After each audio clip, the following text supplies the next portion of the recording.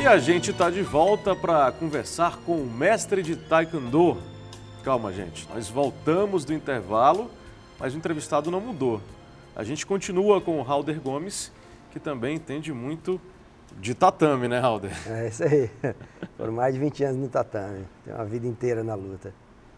Conta um pouco da tua trajetória no esporte para quem está em casa e não conhecia esse teu lado. É, eu tenho uma vida inteira que foi dedicada né, à arte marcial, ao taekwondo especificamente, onde eu sou faixa preta, sou mestre, tive academia por muito tempo, fui competidor, fui técnico, vivenciei tudo que você podia viver de uma história é, é, voltada para o tatame. E comecei no, no, no, cinema influenciado pela arte marcial, né? Foi a arte marcial que me levou para o cinema. Na verdade, foi o cinema que me levou para a arte marcial, a princípio, quando eu vi um filme do Bruce Lee quando eu era criança e quis ser lutador. E depois, através da, da arte marcial, eu comecei no cinema como dublê de lutas em Los Angeles na década de 90. Ou seja, foi esse teu desempenho é, como atleta, como mestre de taekwondo, ou seja, você realmente se graduou na, na arte marcial, é, deu aulas ou seja, foi, foi todo esse universo que acabou te levando, estou vendo aqui, em 1991, né, para ser é, dublê. É, dublê de, de luta, que a gente chama stunt fighter, que é, são profissionais que fazem cenas de luta, né? Normalmente são profissionais que estão ali para levar pancada coreografada, obviamente, dos atores, para fazer com que o ator é, impressione naquela cena. Você é, é você tem que ter uma expertise em arte marcial e, e trabalhar as reações para que os golpes pareçam reais na tela. Então é um trabalho muito específico, muito, muito é, é complexo, né? que existe toda uma, uma cadeia de, de profissionais que se dedicam a, a essa atividade lá nos Estados Unidos, em especial em Hong Kong, a gente produz muito filme de luta, para que você possa ter coreografias e pessoas que são capazes de, de fazer com que os, os, protagonistas pareçam reais heróis, lutadores e tudo. Você lembra bem de, dessa época, é, de, do início dos anos 90, de 1991, quando você saiu aqui de Fortaleza, pegou o avião para ir para os Estados Unidos fazer esse trabalho? Qual foi a ansiedade que você sentiu naquela época? A ansiedade maior porque era muito diferente o mundo, né? não existia a internet. Então, a, a, toda aquela informação de, de as pessoas que você iria trabalhar, quem você iria conhecer, a, aquela, aquela questão de você conhecer as pessoas mais como mito do que, do que propriamente como gente, né? Porque uhum, uhum. hoje em dia a internet coloca todo mundo numa condição bem... Aproximou, né? Aproximou demais, né? As pessoas se expõem demais, você acaba vendo muitas vezes pessoas que achavam que eram mitos, na verdade, são pessoas super simples. Às de vezes, carne. Às, às, vezes, às, às, vezes chega a ser até, uau, não acredito, assim, ah, eu, eu, eu, sigo a Brooke Shields no Instagram. A Brooke Shields era, fez a Lagoa Azul, era, nossa, era meu sonho, minha paixão, né? Ali na adolescência e tudo. E aí você entra no Instagram, tá lá Brooke Shields no dentista. Pô, a Brooke Shields não vai pro dentista, pelo amor de Deus. Tá entendendo? Então, não, não era assim antes. Uhum. E aí você tinha realmente uma fantasia, um, uma imaginação de como seria esse universo. E, e, e, sempre, e Hollywood sempre é muito interessante, é sempre uma grande escola, né? Para quem pensa em cinema, é, não tem lugar melhor para você entender o cinema como indústria, entender a responsabilidade, o peso que é aquilo tudo. E na época, quando eu fui trabalhar nesses projetos, era, era um momento bem diferente também em relação a como eram as janelas de exibição.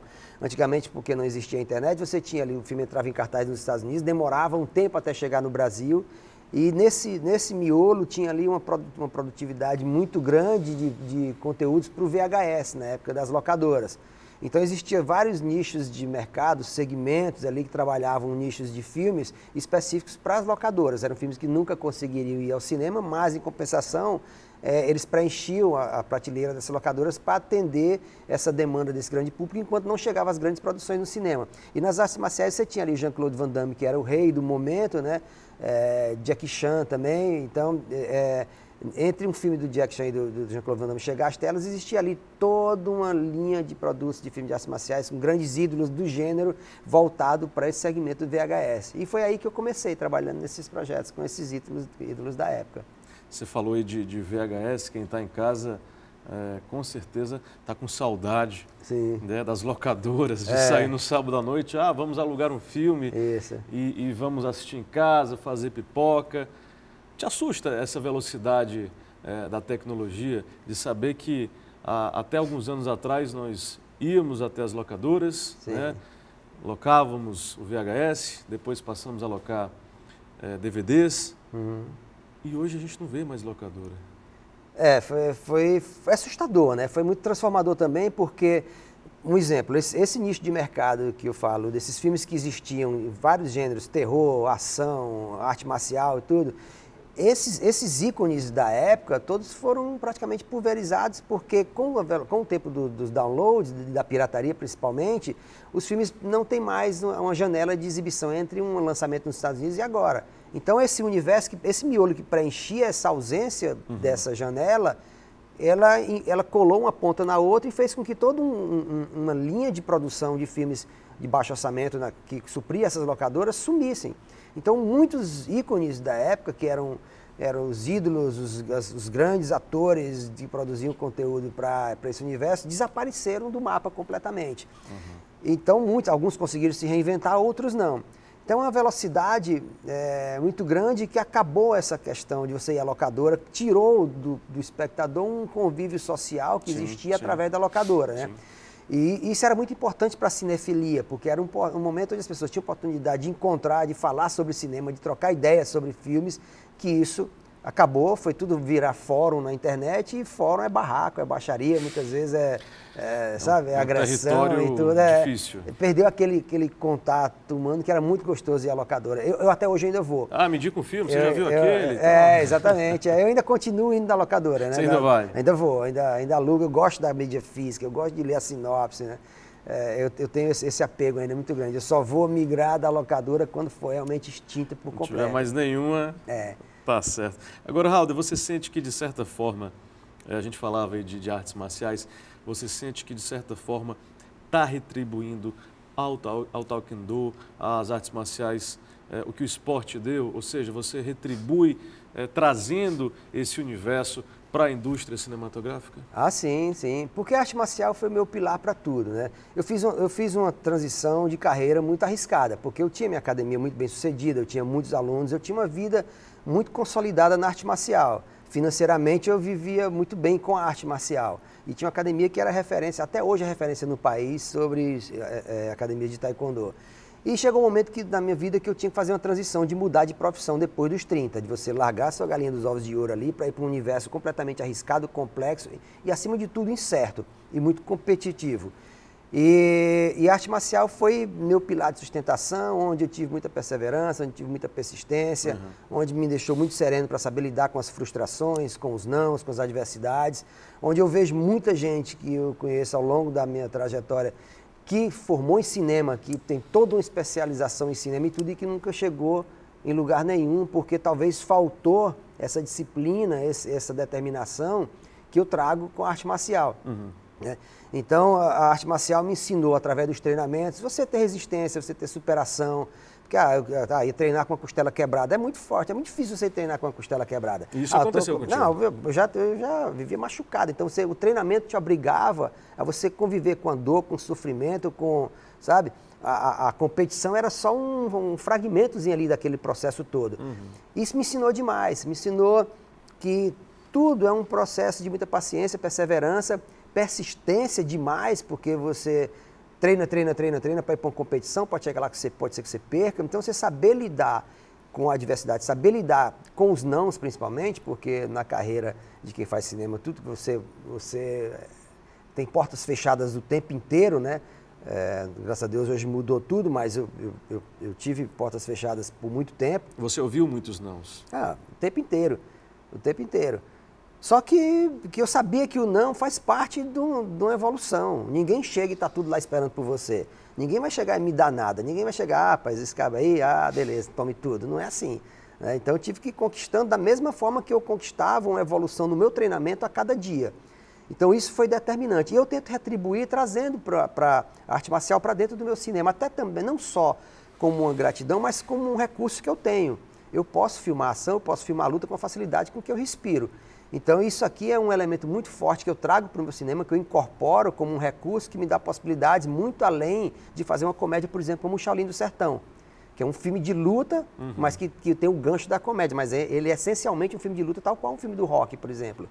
E, e, isso me ajuda muito. E eu uso muito essa ferramenta porque me dá a possibilidade de inserir na comédia é, elementos e situações que podem enriquecer muito uma história. Agora, a tua agenda hoje é completamente diferente da agenda que você tinha enquanto atleta e professor de taekwondo. Mas ainda há tempo, né? Tudo isso que você falou, obviamente, é uma filosofia de vida, né? O esporte te Sim. deu isso. Mas você ainda encontra tempo de praticar, de ter o teu momento ou não?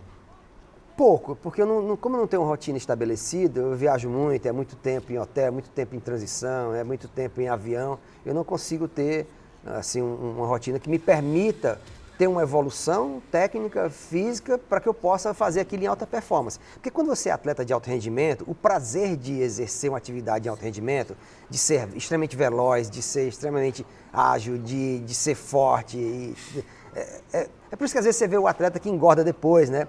Porque depois você fazer aquilo ali em baixo rendimento, é. É, é, é, é, muito sem graça. Então eu, eu, costumava lutar e treinar muito forte, muito pesado. Obviamente que a idade, a sua estrutura física não é mais a mesma, sua musculatura, Sim. seus tendões, e faz com que você não, não possa mais fazer. Então, se eu não posso mais exercer com aquela intensidade que eu fazia antes, isso aí me deixa numa zona de que fazer para fazer graça, para brincar, é, eu não curto muito não. Mas vez por outra eu faço um treininho leve, dou um chutezinho ali, lá e tudo, mais brincando como coreografia de luta do que propriamente com a intenção de, de fazer em alta performance. A gente acabou de ver aí cenas do, do Shaolin do Sertão e quem está em casa talvez é, não saiba que você também traz dos tatames um parceiro que está contigo há muitos anos, Nossa, que foi teu aluno, né? Há muito tempo. Edmilson é parceiro de mais de 20 anos. Edmilson começou na minha academia faixa branca, chegou lá, matriculou como um aluno qualquer. E Ou teve, seja, vocês nem se conheciam, ele foi lá no dia, lá, matriculou... É, matriculou, mas era um aluno completamente diferente, porque ele era muito determinado. E, e ele falava, ah, eu, quero, eu tenho sonhos no taekwondo, eu quero ser campeão brasileiro, eu quero ser isso e tudo. É, é muito, é um tanto quanto é, ousado alguém falar isso, mas outra coisa é cumprir, né? E ele tinha uma disciplina muito grande. Eu percebia que aos poucos ele, ele começava a ter um comprometimento que muitos alunos não tinham. Marcava treino domingo, ele ia. É, marcava treino a hora que fosse, ele, ele sempre estava presente. Ele morava lá no Mudumbi, não faltava um treino, não interessava que dia era. Isso já mostrava um compromisso muito grande com, com o que ele faz, né? E, e, obviamente, o talento da comédia ele já tinha aquilo ali, a gente já percebia durante os treinamentos, durante as competições, durante que as viagens para campeonatos. Ah, cara, ele, um ele, ele, aprontava muito nas viagens, por exemplo, a gente ia para os campeonatos. A gente foi para um campeonato no Maranhão. E aí o presidente da federação foi lá receber a gente, aí disse, rapaz, eu vou fazer, vou fazer de mudo para esse cara. aí, aí apresentamos o cara como se ele fosse mudo, ele passou três dias para esse cara sempre se apresentando como mudo. E aí, um belo dia no treinamento, a gente trocando porrada lá, eu dei uma lapada nele, aí ele falou. Rapaz, eu falei, eu estou curado, eu estou curado, eu estou curado. Aí começou a gritar na casinha por eu estou curado, eu estou falando, eu estou falando. E o cara olhando assim, pai, que porra é essa? Que doido. o cara passou três dias me enganando aqui. Então, assim, essa, essa, essa intuição mesmo de, de sabe, a, comédia muito presente, muito viva, o timing, tudo, já era, já era muito presente. Claro, eu sabia que é, é, era um talento que um, uma hora dentro do cinema que eu já estava começando a desenvolver, teria um espaço para algum projeto e eu tinha, tinha certeza que ele brilharia como ator. E você lembra do dia que o Edmilson estava treinando, né? ou então você treinando o Edmilson, e aí de repente você chega para falar de cinema para o Edmilson. Como é que foi a reação dele? Você lembra desse dia? Lembro, lembro, porque ele, ele e o Haroldo Guimarães também, que são parceiros né, de, de muito tempo, o Haroldo está em todos os meus filmes também, eles, na época, eles montaram uma dupla de humor, de show de humor, que era Los Marmoteiros, eles abriam um show na noite do Tiririca, abriam um show de, de grandes nomes da, da, da, do nosso humor, né? Mas o Haroldo se tornou advogado e o Edmilson continua focado nos treinos, mas um, um, existia, o, existia ali o Festival de Humor do Shopping Aldeota, que revelou grandes talentos, e eles ganharam esse festival de humor também. E foi um momento que o Edmilson já estava mais maduro, assim, como comediante, e foi um momento que eu escrevi o curta-metragem O Artista contra o Cabo do Mal, que é o precursor do Cine Hollywood. É um curta que fez muito sucesso em festivais e tudo. E eu escrevi esse personagem, do Francis Gleitson, exatamente para ele, porque era um personagem que exigia não só um talento físico para fazer a performance de arte marcial que tinha, mas tinha que também ser cearense, tinha que ter a seriedade e tinha que ter a, a, a comicidade numa história que era puramente lembranças minhas do interior do Ceará na década de 70. E ninguém mais poderia fazer a não ser o Edmilson, porque eram muitas qualificações para fazer aquele personagem. É, e, e, só ele tinha a capacidade de fazer isso. Foi o momento que eu falei para ele, ó, vamos fazer esse filme, e aí foi um grande sucesso. E veio o Cine Hollywood e veio tudo depois. A gente, inclusive, está vendo cenas agora é, do Cine Hollywood é, que o grande público conhece, né? Mas você falava aí, na verdade, o Cine Hollywood, ele nasce em 2004 como um, um curta, né? Como um curta-metragem, é.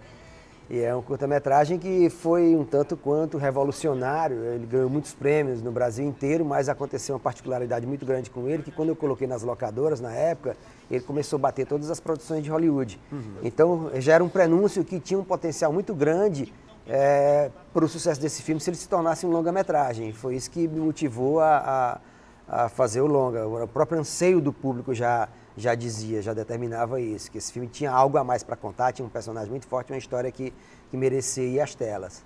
Agora, Halder, como é que é essa coisa de se tornar reconhecidamente, nacionalmente, um diretor de cinema conhecido né, em todo o Brasil? Como é que você tem lidado com isso quando você anda na rua, as pessoas param, pedem para tirar foto, pedem autógrafo? É uma realidade bem diferente da que você tinha enquanto atleta?